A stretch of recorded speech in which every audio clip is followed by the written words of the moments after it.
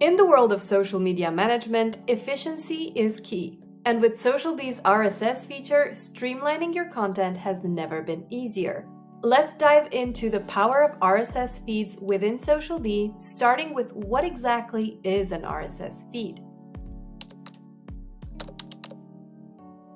RSS, or Really Simple Syndication, is a tool that allows users and applications to access updates from a website. It's a feed format commonly used by websites, particularly blogs, to publish frequently updated content such as articles or news. In SocialBee, it automates content delivery from websites directly to your SocialBee categories. You can set it up by going to your content menu on the left-hand side of your screen. And then to your RSS tab in the submenu there. This is where you'll configure your RSS connection. To add a new connection, click on the Add RSS button at the top right corner of your screen. Start by selecting the profiles you want to include this content on.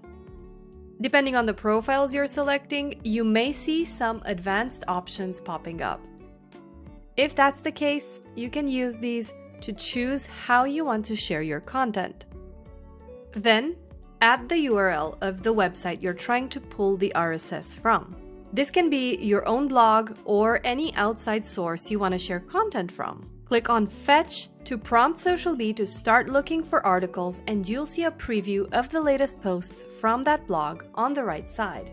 Next, choose the category you want to share your content in and the order of posting it. You can use the category default, or you can use one of the two options available. Add it to the top of your queue if you want this post to go out before anything else in your category, or add it to the bottom of your queue if you want this to go out last. You can also append text if you want to, like a hashtag or a source.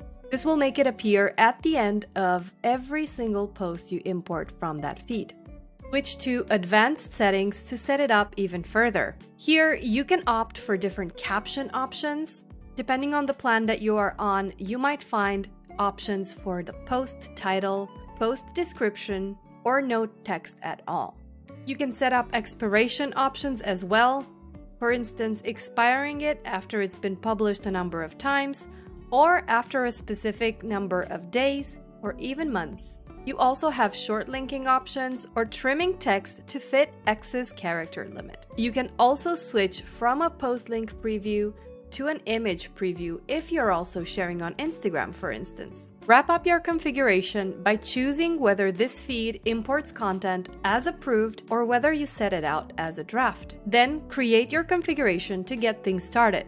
You'll have two options here. Import the latest 10 posts or the last one. Once it's all set up, you'll start seeing posts populating your category with new blog posts every time something new appears. You'll see them being labeled as imported via RSS. Now, all you have to do is make sure the posts are approved and the category scheduled. If you need to approve draft posts, you can do so from the Content Approval tab in the Content menu. Here you can see all the content that's set to draft and you can even filter for only content coming through the RSS feeds. And that's it! If you have any questions about RSS feeds or any SocialBee feature for that matter, feel free to email our team at success at socialbee.com.